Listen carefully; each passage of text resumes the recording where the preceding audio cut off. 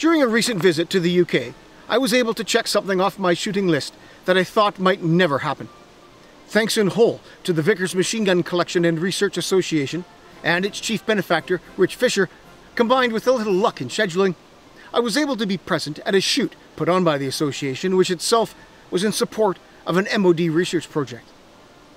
Fresh from the success of the association's commemorative shoot, marking the 100th anniversary of the disbandment of Machine Gun Corps in 1922, held at NRA Bisley about a month previous, this shoot, while not to the same scale as the massive 16 gun tribute to all things Vickers, was perhaps more indicative of the association's ongoing and periodic range work. The Vickers Machine Gun Collection and Research Association is a bona fide entity dedicated to the exhaustive and multifaceted study of the guns, equipment, organization, drills, and tactics used by troops armed with the Vickers over its 50 odd years of service. Bleeding into this is a healthy inclusion of other, shall we say, associated arms, such as the Lewis and the Bren. The association conducts regular research, holds events, and contributes to the greater academic understanding of these specific military arms through presentations to both the military and interested civilian groups and individuals. The association recently featured at the UK's National Army Museum, where a day long exposition was held focused on the history and use of the Vickers, the Machine Gun Corps, and the greater employment of the weapons through their service around the globe. Apart from holding a most significant collection of both Vickers and other period arms, the association can boast a rather unique large collection of the associated ancillary kit and equipment, as would have been used by Vickers armed troops. They are also the holders of a significant, if not the best, online collection of documentation regarding British and Empire military training of the 20th century. Manuals, PAMs, and other references are found in ever increasing numbers on the association's website. Truly an incredible resource, and in fact, it was through my looking for these references and my discovery of Rich's online publishing that I first found out about the association and Rich's incredible work. It is due in large part to him that many British muzzleloaders projects were even possible, and for that I am quite grateful. Rich is supported by a dedicated group of enthusiasts who, with varying levels of involvement, assist him running, staffing, and facilitating many of the association's practical historical activities.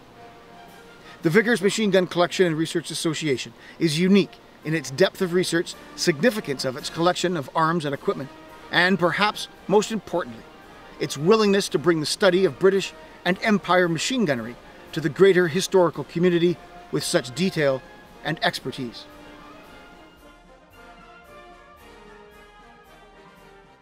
The visit began with a range day. True to the professional nature typical of the association's shooting activities, there were a number of preliminaries that were attended to. We would be shooting the Vickers and the Bren, so mag and belt filling were of the utmost importance. We loaded the mags with 25 rounds, and the belts were filled using the historical belt filling machine. The association members set about bringing the guns into action. Barrels and internal parts were checked, and the mechanics of the guns were verified and prepped for firing. Here we can see the removal of the feed block and the removal of the lock,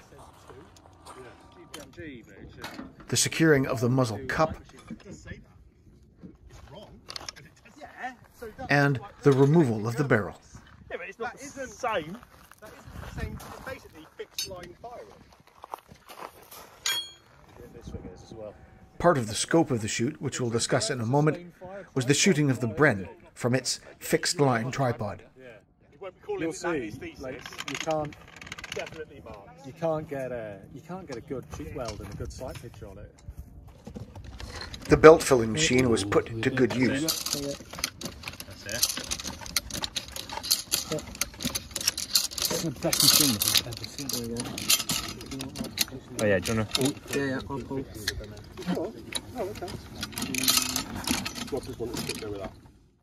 Everyone was run through a familiarization with TOETs or tests on elementary training following. A drill purpose Bren did duty for this purpose. And looking in, in the chamber. Rich got about explaining the considerably more complicated Vickers, He gave detailed explanations of the parts won't let you and the mechanism So the gun of this recoil-operated weapon. Barrel casing is full of water, about seven and a half pints, and should boil up after about 600 rounds. Unlikely, given what we're doing today. Main elements of the breech casing are the feed block, uh, which the number two will certainly become familiar with. The crank handle, which the number one will become familiar with. It's a crank handle, not cocking handle. Pedantry matters. Um, and then the fusee spring on the left-hand side here. Have you weighed them up as well? Seven. Okay, yeah. Rich is referring here to a check done as part of the pre-firing procedures. This is measuring the resistance of the fusee spring to ensure that the gun functions correctly. Yeah, Later on in the day, this was demonstrated for me. about a of Kynoch air service comes in little red boxes. Each round lift wrapped in tissue into paper. it. It's really accurate. actually. until it breaks, and then you can read it great. off from that. Seven to nine, isn't it? Supposed Yeah. to be the. Um, Okay. Okay, yeah, cool. Um, and then we've got the cross piece. And on the cross piece, the key elements are the safety catch here. So this thumb piece that's actually seconded. And then the thumb piece. It's not trigger, but it does the same function because it operates the trigger through a trigger bar. So it's, and then, so the way it works is that we have the feed block above the barrel. So we have to crank it twice as part of the load. That's why we do that. And we have to crank it twice as part of the unload. So that's why we do it like that. Um, this hose here is taking out the steam into the can. So there's a tube sits in the bottom, in the top of the barrel casing, and the barrel fits in the in the bottom. The muzzle attachment at the front end here contains the muzzle cone, uh, a muzzle cup, and a muzzle gland. As Tom This was followed by demonstrations we'll learn very and walkthroughs of Now, the pertinent normal safety handling drills. On a Vickers are to ensure the weapon is pointed in the safe direction. Then crank it twice. So one, release, two, release. You have to do that before you can take the ammunition out. And then you're going to check inside. So you're going to crank back and hold, lift the top cover using that catch at the back. going to do that for you largely. The number one's going to take it to the left and just hear that one click. Just goes click, and that's the pulls engaging. By the end, all were suitably conversant with what would be required of them in the operation of the various arms. A detailed explanation of the day's shooting was also conducted, and when it was all said and done, we were ready to go. The guns brought out for this day were two Vickers dating from 1940 and 1945, both of which were Australian. These were mounted on a pair of Mark IV tripods. Each was complete with a condenser can, hose, and ammunition box.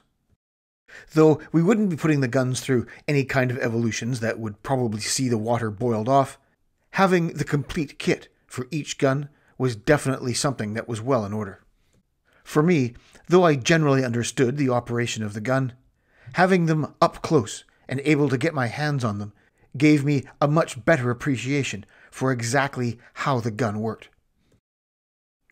Upon closer inspection, I became increasingly impressed with the condition in which the guns were maintained. A testimony to the association's attention to detail. Supplementing the brace of Vickers were two Bren guns, one a Mark II and the other the earlier Mark I.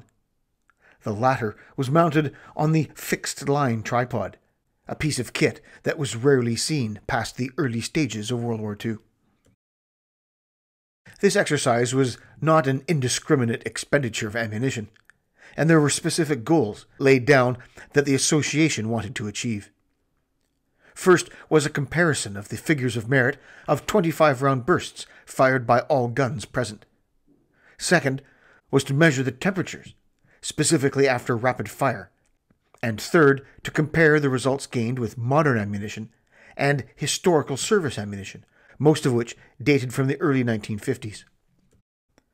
Each gun would be fired a minimum of eight times, 25 rounds for each practice, and a final 125 round practice at the rapid rate for temperature measurement. There were eventually some extra practices added, including ammunition testing, as well as with the Vickers to test other mounting systems, namely the Sangster. So, we were briefed up, bombed up, the barrel casings were full of seven and a half pints of water, and those thumb pieces were just itching to be pushed. Now, admittedly, the next couple of minutes are going to be rather gratuitous. This in no way diminishes others' participation, of course. The day, led by Rich, was certainly a sum of its parts. The experience of finally sitting behind this iconic machine gun was one of those moments to think of the countless men who sat behind their guns, just like I was, pulling the belt through the feed block, operating the crank handle, peering through the sights, and laying the gun through the tripod's mechanism, and reporting on. And so it was. I fired my first practice with the Vickers gun.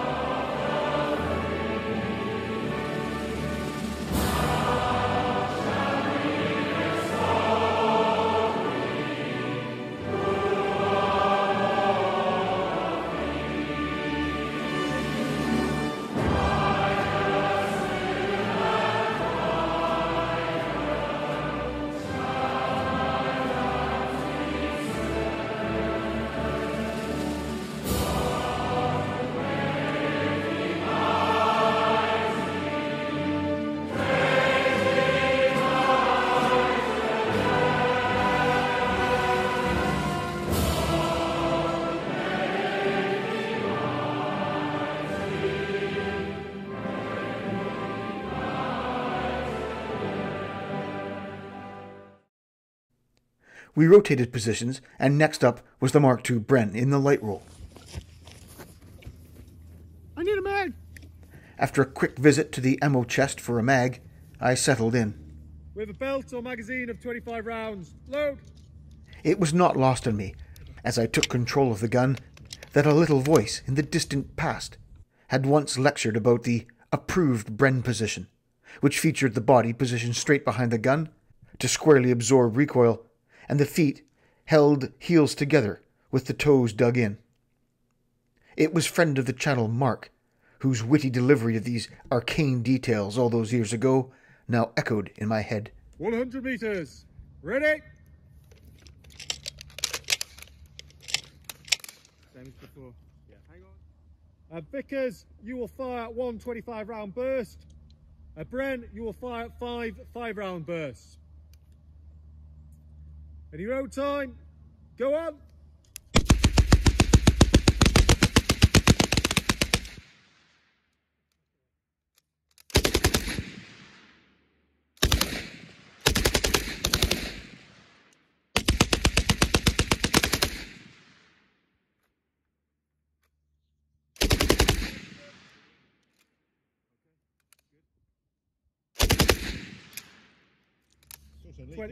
There evidently was wisdom in those words.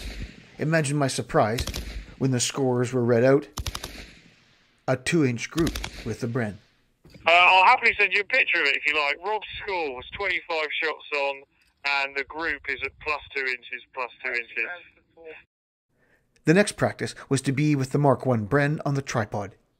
This device, ingenious in design but somewhat flawed in concept, was widely issued in the early part of the war for use in defensive positions where the gun needed to be fired on a fixed line, down a road or along an obstacle or some such. It had the additional capacity of converting into an anti aircraft mount for defense against low flying aircraft. We laid the gun and then listened in for the command to load.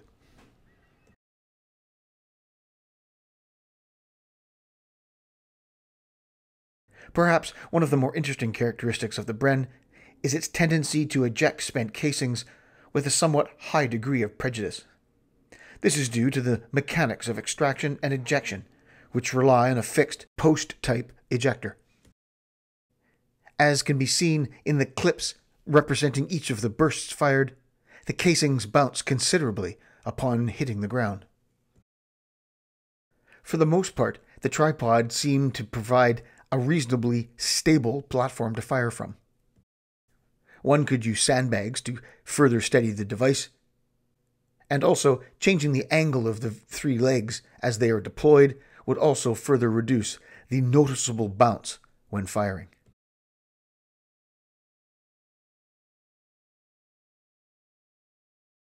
Then it was on to the second Vickers practice becoming more comfortable with the drills associated with the gun, I was nevertheless quite wary of the fact that countless more hours would have been required to make these drills truly instinctive. Ready? So, pull once, crank it, that's it, pull. At least I didn't do it the first no. The service burst for the Vickers was 25 rounds, and this can be measured as an expedient by the number two holding the belt at a point which corresponds to the bottom of the tripod socket.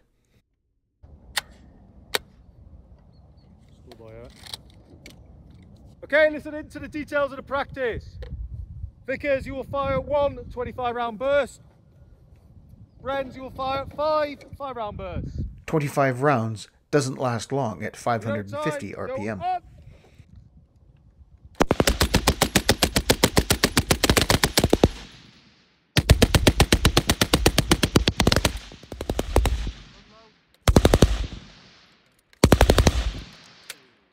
As mentioned, this wasn't just about me in the channel and shooting machine guns. And Most of the group were to fire that day. Ammunition. Time, go on. Here, a practice was shot with the Bren in the light role with historical surplus ammunition, Mark 7 from the 1950s. In some cases, this old ammunition wasn't quite so reliable.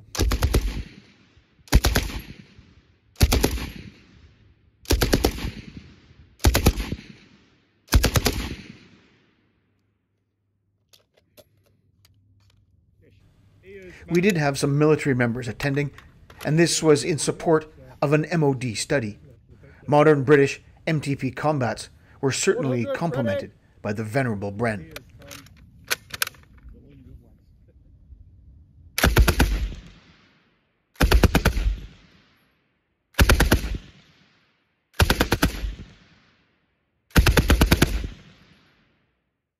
Some Mark 7 ammunition was also fed through the Vickers, Your own time. Go with on. noticeably more smoke.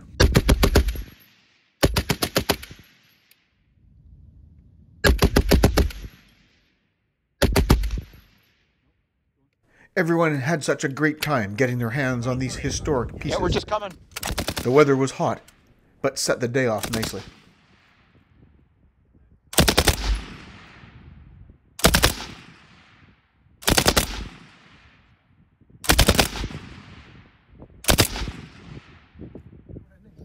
I think it's safe to say that everybody out that day saw these arms as a touchstone with history.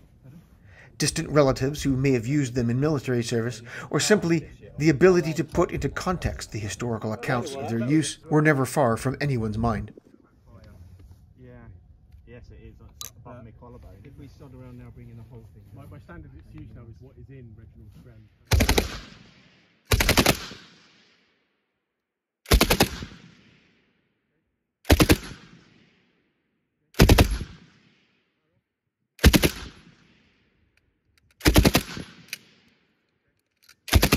It wasn't all serious, though. There were others, like me, who had never fired either gun before, and could hardly contain themselves. Make the noises, Toby. Make the noises.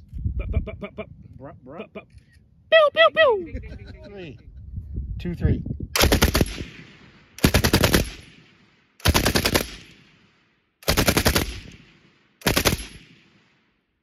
Yeah, I know. Well, it's work. After a good morning shooting, we refilled the belts and magazines while we broke for lunch. Catches here. Yeah.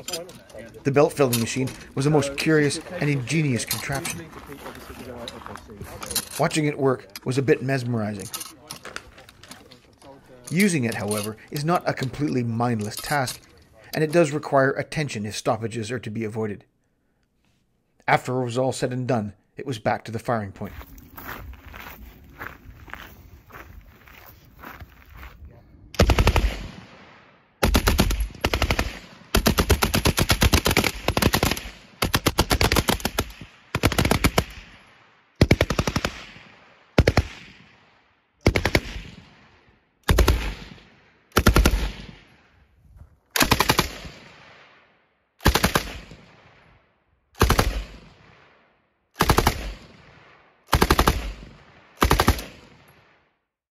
We experienced one separated case on the day, which was cleared by the chambering of a subsequent round.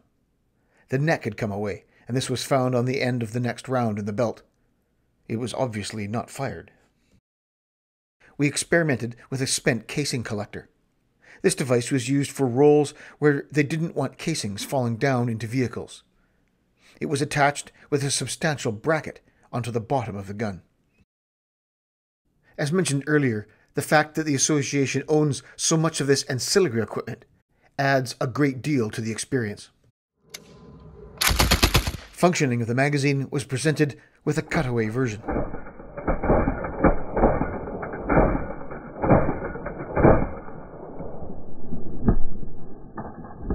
Again, notice the velocity that the spent casings are ejected from the gun.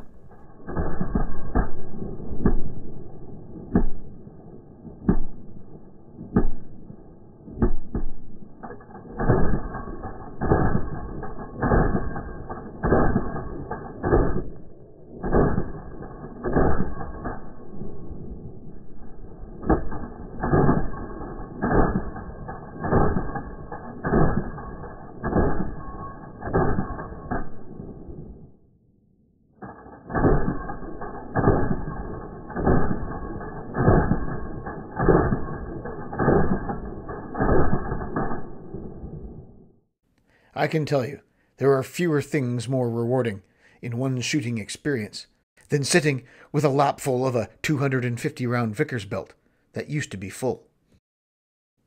Opportunity was taken to experiment with the collection's Sangster mount. Introduced in 1915, this small detachable tripod was intended to supplement the main tripod and serve as a backup in the event of damage or destruction of the primary. It also allowed for firing in the prone position. It was commonly seen secured to the barrel casing. Deployed, I couldn't help but see a passing similarity to the MG 08/15, the German machine gun which used a similar, more simple bipod arrangement, although provision for a butt was a most salient addition. Well, I, yeah, how many bad jokes have you made today? Oh, none. No, no, I don't do them. Because I don't know any jokes, good or bad. Um, Humorless. You can see here in this view that this is in fact a Mark III version, which included small feet on the ends of the tripod legs to prevent them sinking into the ground too deeply. Upon seeing the Vickers fired with the Sangster mount, I was surprised at the lack of movement of the gun. With the firer's elbows firmly on the ground to govern the elevation, the gun bucked gently on firing, without the more significant and violent recoil of the MG 08/15 as seen on C&Rsenal.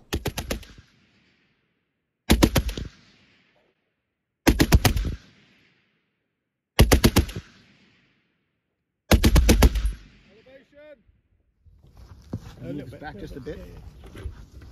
Well, it doesn't matter. It doesn't need to be in. So. Well, that's Just fine. the- just, it's in front of your lovely face. Oh well, no, just take it away. Take it. There we go. That's all right. and find the steam method. One, two. Load. Now, as shown here, as a function of this type of range work, with a limited amount of ammunition shot per serial, threading a three quarters empty belt through the gun can prove to be somewhat awkward. One drawback here, and admittedly this is due to the constraints of range safety, is the requirement to hold the gun while working the crank handle. As you can see Rich demonstrate, it required a bit of hand changing to effect the proper load.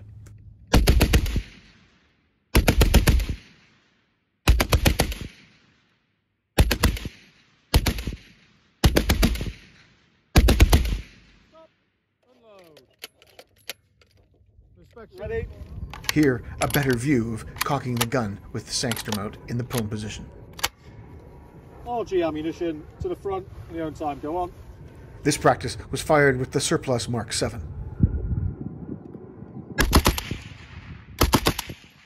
And it appears as though there were a couple of duds in the mix.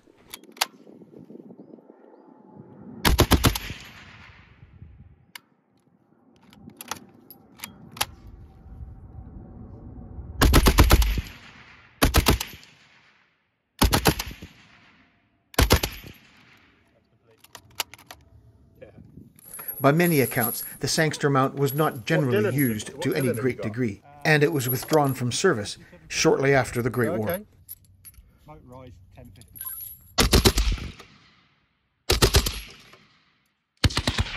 You can see here in these views how the crank handle interfaces with the roller.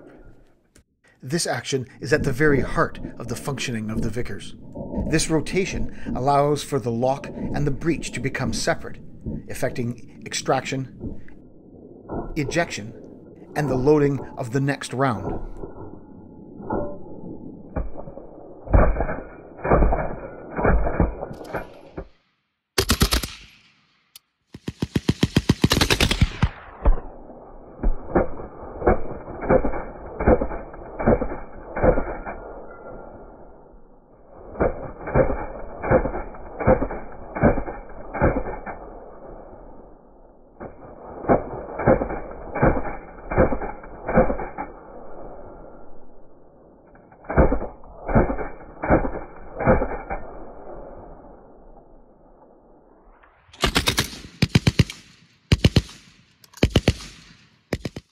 In an effort to examine the heating of the Vickers and the Bren under rapid fire conditions, a practice of 125 rounds fired at the rapid rate was undertaken.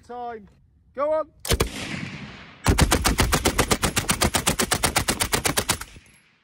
The rapid rate was defined as the 25 round service burst fired with a two second pause between bursts. My relative inexperience with the gun was apparent when I mistook a number 3 stoppage for a number 4. A simple stroke down on the crank handle was all that was required to correct it, and the gun resumed firing. All the faffing about had disrupted the lay to a degree, so a fine adjustment was required before resumption of firing. This was but a small window into what the Vickers was capable of truly sustained firing.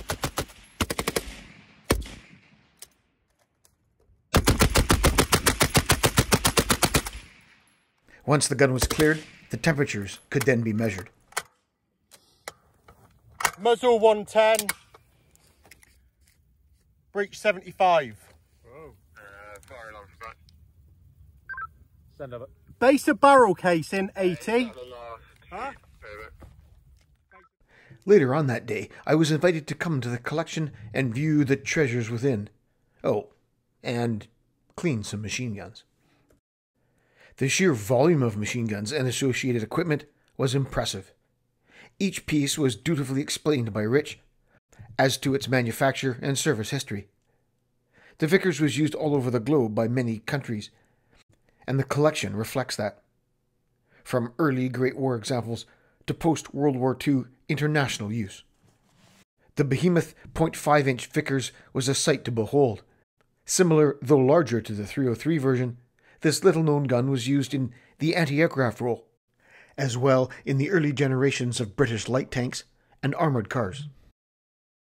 A most fascinating piece was the Vickers in the aircraft role, with the Constantinesco interrupter gear.